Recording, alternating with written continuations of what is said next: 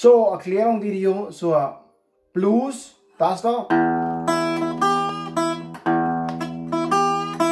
Ja, ich spiele die E-Seite an am Anfang. Das ist hier ganz unten. Können Sie auch mit Daumen machen. Dann spiele ich eine kleine Melodie, das ist die E-Seite, zweimal angespielt. Hier oben am, dann nachher am dritten Punkt einmal greifen. Und dann wieder loslassen. Für vier Noten. E, E, G, E. Dann mache ich dasselbe noch einmal, aber davor spiele ich die A-Seite an. Und dann spiele ich die kleine Melodie nochmal und dann E nochmal. Und dann noch ein Ablauf dazu, eine äh, kleine Melodie.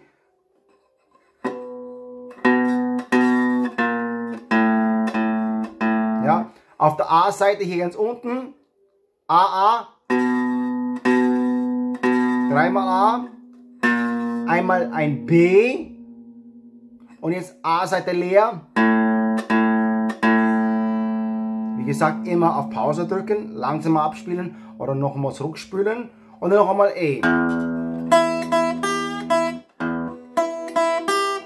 Ja, das kann man auch ganz alleine spielen. Bitte ähm, in dem Fall das, äh, Teil 2 nochmal anschauen. Ähm,